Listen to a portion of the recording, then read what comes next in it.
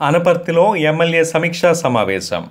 అనపర్తి గ్రామ పంచాయతీకి సంబంధించిన అభివృద్ధి పనులు మరియు సమస్యలపై ఎమ్మెల్యే రామకృష్ణారెడ్డి సమీక్షా సమావేశం నిర్వహించారు. ఈ సమీక్షా సమావేశంలో అధికారులు ప్రజాప్రతినిధులు పాల్గొన్నారు.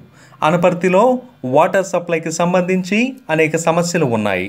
గతంలో రెండు నెలల క్రితం ప్రజాప్రతినిధులతో అధికారులతో సమావేశం జరిపినప్పుడు వాటర్ సప్లైకి సంబంధించిన సమస్యలు ఎమ్మెల్యే దృష్టికి తీసుకురావడం జరిగిందని దీంతో ఆయన పర్యవేక్షించి ముప్పై ఆరు లక్షల రూపాయలు పంచాయతీ నుంచి నిధులు విడుదల చేసి ఆ పనులు మొదలుపెట్టారని ఆ రోజు మొత్తం తొమ్మిది వర్కులు గుర్తించామని అందులో ఐదు వర్కులు ప్రారంభించడం జరిగిందని మిగిలిన నాలుగు వర్కులు త్వరలో మొదలు పెడతామని జరుగుతున్న పని పనిపై జరగాల్సిన పనిపై సమీక్షా సమావేశం జరుగుతుందని గ్రామంలో ప్రతి ఇంటికి మంచినీటి సదుపాయం ప్రతి ఇంటికి కుళాయి ఉండాలని గ్రామంలో అన్ని పనులు అభివృద్ధి కావాలని నల్లమల్లి రామకృష్ణారెడ్డి అన్నారు.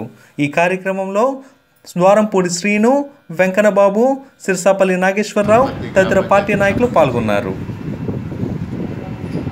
అభివృద్ధి కార్యక్రమాల్లో కానీ సంక్షేమ కార్యక్రమాల్లో కానీ ప్రధానంగా శానిటేషన్స్లో కానీ ఉన్న సమస్యల్ని పరిష్కారం చేయడం వరకు అధికారులతో ప్రజాప్రతినిధులతో ఒక సమీక్ష సమావేశాన్ని నిర్వహించడం జరిగింది ప్రధానంగా నియోజకవర్గం ప్రయాణమైన అనపత్తిలో వాటర్ సప్లైకి సంబంధించి అనేక సమస్యలు ఉండడం జరిగింది. గతంలో రెండు మాసాల క్రితం ప్రజాప్రతినిధులతో సమావేశం అధికారులతో సమావేశం నిర్వహించినప్పుడు వాటర్ సప్లైకి సంబంధించి అనేక సమస్యల్ని ప్రజాప్రతినిధులు మా దృష్టికి తీసుకురావడం జరిగింది. దాన్ని వెంటనే అధికారులతో పర్యవేక్షణ చేయించి ముప్పై ఆరు లక్షల రూపాయలు పంచాయతీ నుంచి నిధులు విడుదల చేసి ఆ పనులు మొదలుపెట్టడం జరిగింది. మొత్తం తొమ్మిది వర్కులు ఆ రోజు ఐడెంటిఫై చేయడం ఇప్పటికే ఐదు వర్కులు ప్రారంభించడం కూడా జరిగింది. మిగిలిన నాలుగు వర్కులు కూడా తొందరలోనే ప్రారంభించి వాటిని పూర్తి చేయడం జరుగుతుంది. మరలా దానిపైన జరుగుతున్న పనిపైన జరగాల్సిన పనులపైన ఈరోజు సమీక్ష సమావేశం నిర్వహించడం జరిగింది. దానికి గ్రామంలో ఉన్న ప్రజాప్రతినిధులు అందరూ హాజరు కావడం జరిగింది. ప్రధానంగా ఎంపీటీసీ సభ్యులు అదేవిధంగా తెలుగుదేశం పార్టీ నాయకులు ఇతర రాజకీయాలకు సంబంధం లేని ప్రముఖులు కూడా రావడం జరిగింది వారందరితో సమీక్ష నిర్వహించిన తర్వాత వాటర్ సప్లైకి సంబంధించి ఇంకొక రెండు మూడు విషయాలను కూడా వారు మా దృష్టికి తీసుకురావడం జరిగింది. ప్రధానంగా ఏదైతే ఇవాళ నారా లోకేష్ గారు పంచాయతీరాజ్ మరియు గ్రామీణ నీటి సరఫరా మంత్రిగా బాధ్యతలు స్వీకరించిన తర్వాత గ్రామాల్లో ప్రతి ఇంటికి మంచినీటి సరఫరా జరగాలి ప్రతి ఇంటికి ఒక కుళాయి ఇవ్వాలి అనే ఒక ఆలోచనతో రాష్ట్ర వ్యాప్తంగా పదహారు వేల కోట్ల రూపాయల ఖర్చుతో ఒక ప్రాజెక్టును టేకప్ చేయడం జరిగింది. దానికి సంబంధించి కూడా ప్రతి జిల్లాలో ఇంజనీరింగ్ చీఫ్ పర్యటన చేసి శాసనసభ్యుల దగ్గర నుంచి అభిప్రాయ సేకరణ జరగడం జరిగింది. ఆ అభిప్రాయ సేకరణ జరిగినప్పుడు ప్రధానంగా అనపర్తిలో ఇక్కడ వేసిన పైప్ లైన్లు కానీ ఇతర ఇన్ఫ్రాస్ట్రక్చర్ కానీ దాదాపుగా ముప్పై ముప్పై ఐదు సంవత్సరాల క్రితం అప్పుడు మూలారెడ్డి గారు ఎనభై మూడులో శాసనసభ్యులుగా ఉండగా చేసిన కార్యక్రమాలు. అవన్నీ ఇవాళ పైప్స్ మరి తుప్పుపట్టడం కానీ రకరకాల కారణం వల్ల ఈ చౌకైపోవడం కానీ అనేక సమస్యలు ఉన్నాయి. ఆ సమస్యల్ని పరిష్కారం చేయాలి ఆ పైప్ లైన్స్ అన్ని మార్చాలనేది కూడా నేను ప్రతిపాదించడం జరిగింది. దాన్ని కూడా మేజర్ ప్రాజెక్టులు ఇంక్లూడ్ చేయడం జరిగింది. మనది మొట్టమొదటి ఫేజ్లో వెస్ట్ గోదావరి కృష్ణా జిల్లాలు టేకప్ చేయడం జరుగుతుంది నెక్స్ట్ ఫేజ్లో తూర్పుగోదావరి జిల్లా టేకప్ చేయడం జరుగుతుంది.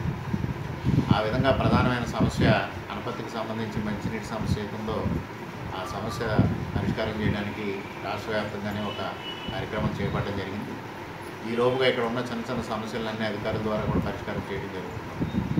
అదేవిధంగా ఏదైతే శానిటేషన్కి సంబంధించిన సమస్య ఉందో ఆ శానిటేషన్కి సంబంధించిన సమస్యను పరిష్కారం చేయడం కోసం పంచాయతీ కార్యదర్శితో పాటు పంచాయతీ ప్రత్యేక అధికారిగా ఉన్న అసిస్టెంట్ డైరెక్టర్ అగ్రికల్చర్ నాగేశ్వరరావు గారిని.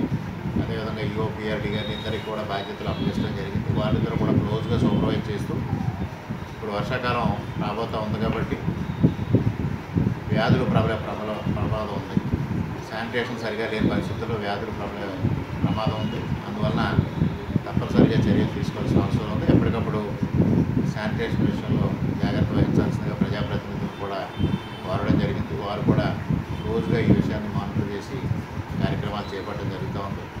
అదేవిధంగా అనేక అభివృద్ధి కార్యక్రమాలకి ఈరోజు కొంతమంది కోర్టులకు వెళ్ళడం కోర్టులో స్టే తీసుకురావడం వల్ల అనేక సమస్యలు ఎదుర్కొంటా వాటిని కూడా పరిష్కారం చేసి ఇప్పటికే ఒకటి రెండు చోట్ల మరి రోడ్లు వేయాలని ఎక్కువ మొత్తంలో దాదాపు నలభై లక్షల ఒక రోడ్డుకి శాంక్షన్ ఇస్తే దాన్ని కొంతమంది కోర్టుకి వెళ్ళి తీసుకురావడం జరిగింది.